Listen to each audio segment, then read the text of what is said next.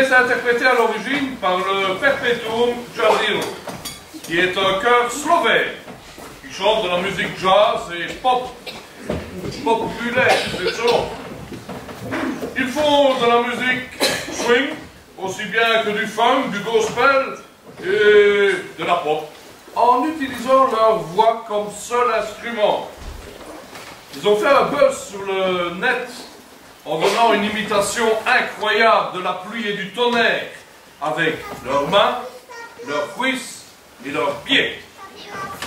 Je vous conseille d'aller sur YouTube l'écouter.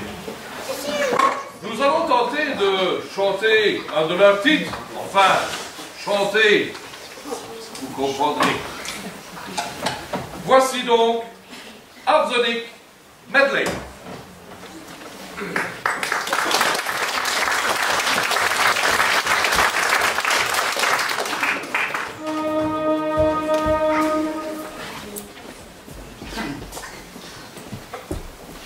La